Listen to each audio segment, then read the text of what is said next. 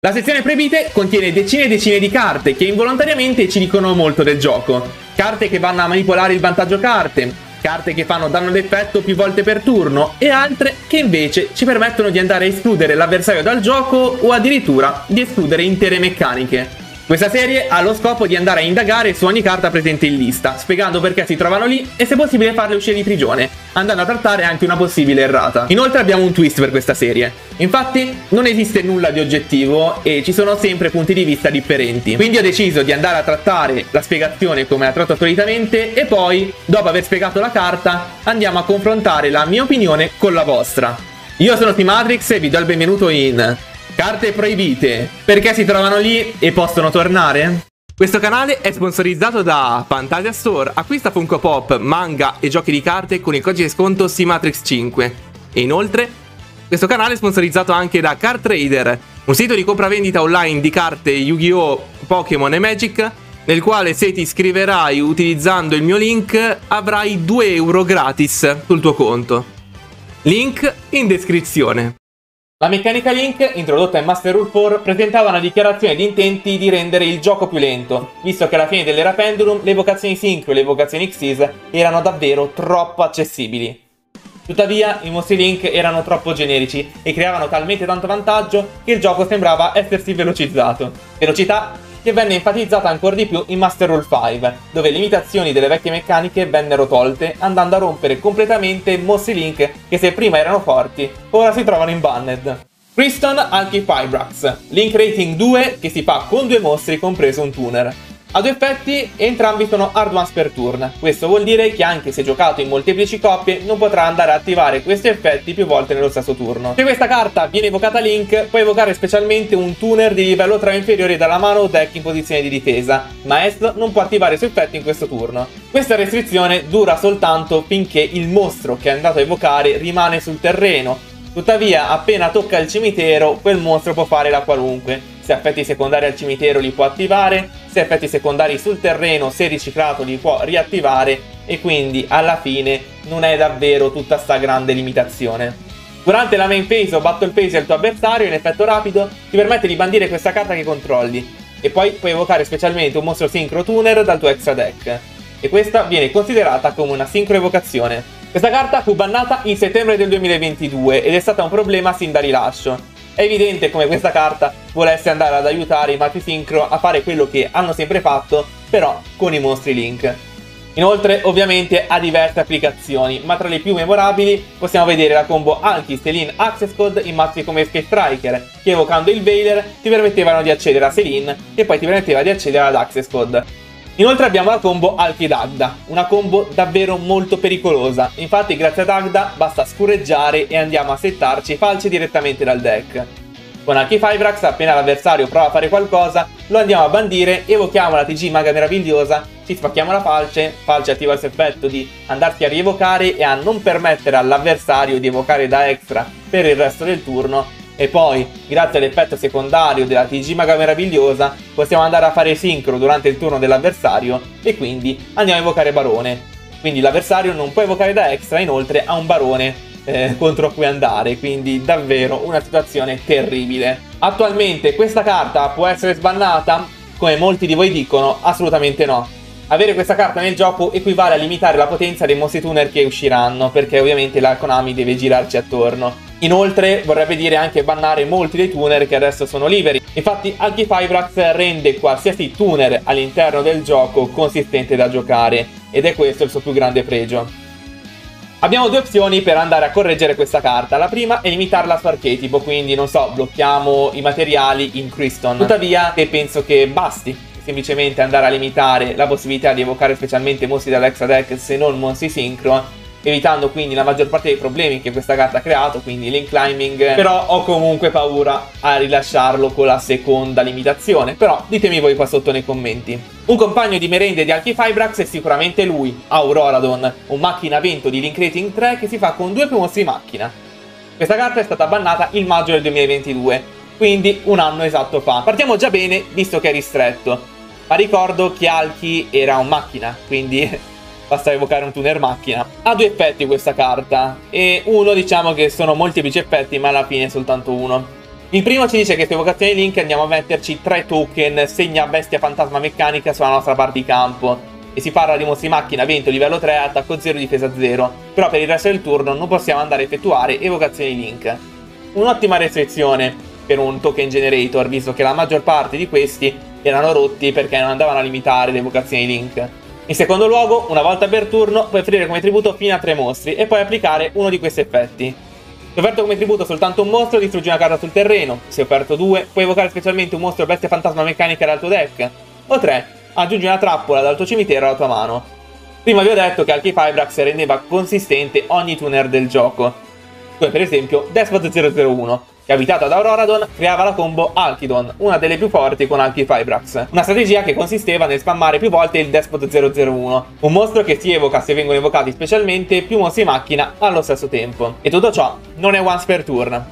Questa carta può tornare? Assolutamente no. Infatti questa carta non solo spamma token ma ti dà anche il tuner, che è la parte più forte di questa carta.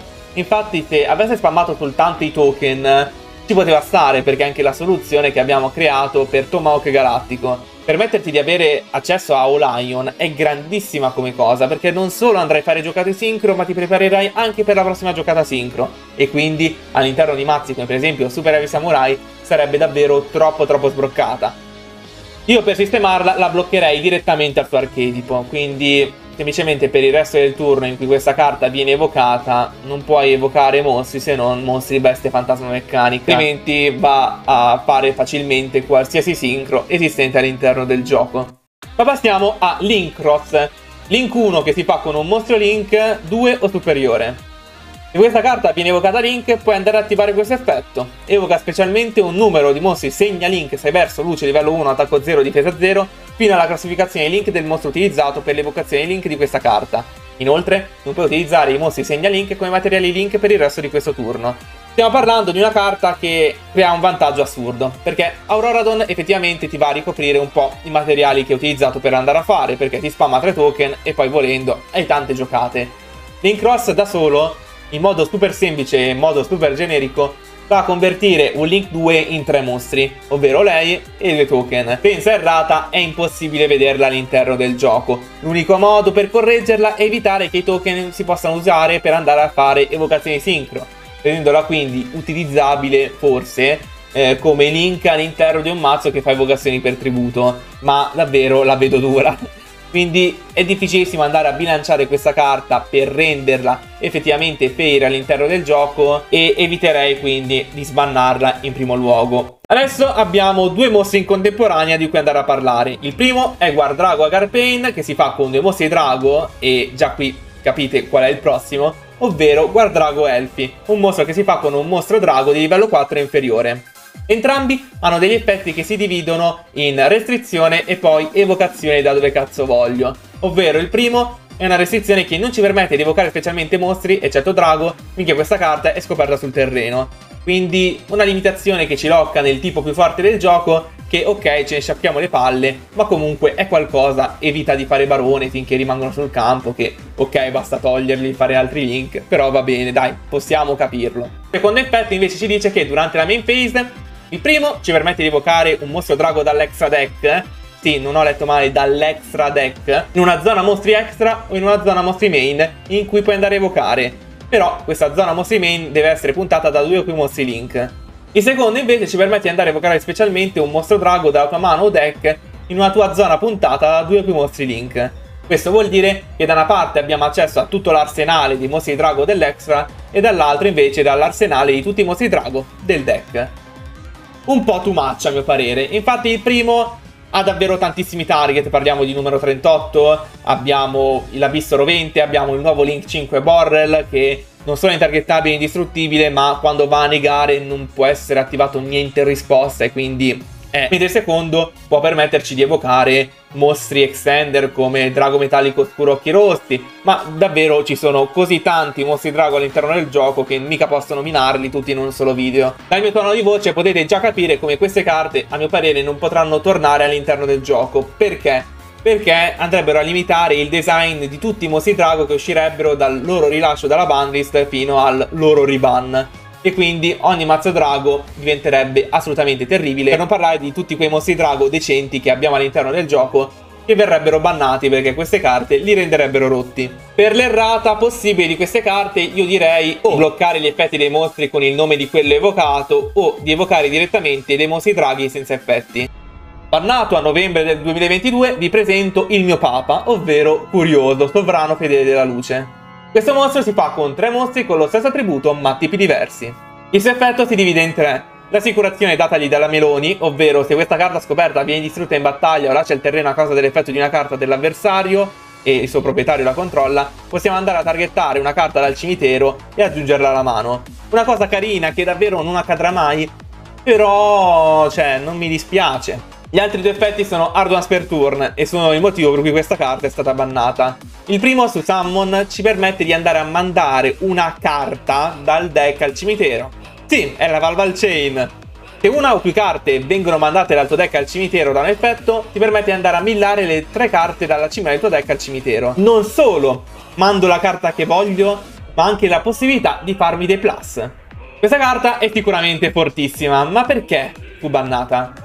Fu a mio parere in prospettiva del meta tier 0, dato che si avvicinava all'uscita delle carte Ishizu all'interno del gioco per evitare ulteriori problemi si è bannata questa carta. Ed è l'unica spiegazione che mi posso dare, visto che questa carta era stata poi scartata come touch all'interno di molte liste. Visto che comunque un po' di gioco prima ce l'aveva. Infatti Luna Tier Danger era un abbinamento di tre archetipi che ti permetteva di avere questa carta praticamente garantita di turno 1 Inoltre ti andava a creare un vantaggio incredibile, tanto che questa carta veniva utilizzata non per andare a millare dei mostri tier o delle carte che hanno degli effetti al cimitero, ma per andare a mettere dei Floodgate, come per esempio Anti-Spell. Infatti dopo aver evocato il Curioso e aver mandato la carta Floodgate al cimitero, vai a fare giocate Link Climbing classiche del Lunalight e poi ti permettono di fare Grifone e Grifone ti permette di andarti a risettare carte trappola dal cimitero e ciò era davvero tanta tanta roba perché avere dei Floodgate cercabili eh, poi in prospettiva di un mazzo che comunque anche senza quelli era già forte era un po' troppo. Però era una strategia abbastanza briccosa che poteva perdere anche da mono interruzione e quindi alla fine giocare curioso all'interno di Tirlaments era stato scartato già prima del suo ban. Ma quindi può tornare? A mio parere assolutamente sì. Infatti è una carta che di per sé attualmente non farebbe grandi cose se non mazzi rogue che giocano ancora le Tirlaments. Però io vorrei andarla a limitare almeno nei materiali. Infatti, anziché mettere tre mostri con tipi diversi ma con lo stesso attributo, andiamo a mettere direttamente tre mostri fedeli della luce, anche perché effettivamente così è più facile evocare nel suo archetipo e evitiamo cazzate future. Chiudiamo il video con il link 3 più forte del gioco, la Momi, la regina, la queen, mia madre, come volete chiamarla, stregona, evocatrice. Si fa con due più mostri con lo stesso tipo e certi segna mostro. E quindi sì, effettivamente non può essere giocata con i token generator, ma se sono tutti bannati non vedo dove sia il problema. Questa carta ha due effetti. Se questa carta viene evocata Link, ci permette di evocare specialmente un mostro dalla mano in posizione di difesa, in una zona del tuo avversario puntata da questa carta. Sì, so che pensate di evocare discepoli di Ra o cazzate varie, ma lasciatemi finire l'effetto. In Hard Ones puoi scegliere come bersaglio un mostro scoperto puntato da questa carta, anche quello che abbiamo evocato dalla mano per il suo effetto, ed evocare specialmente dal tuo deck in posizione di difesa un mostro con lo stesso tipo di quel mostro in una zona puntata da questa carta.